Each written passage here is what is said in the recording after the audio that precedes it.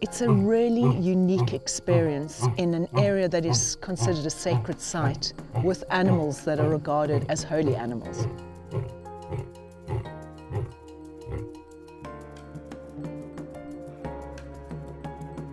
We have workshops of a very unique nature, animal communication, astrology, some scientific workshops, some more esoteric workshops.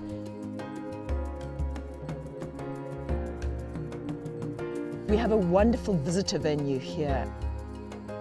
And so we warmly invite people who have a particular interest and would like to bring their own groups who they know would be deeply inspired by the White Lions.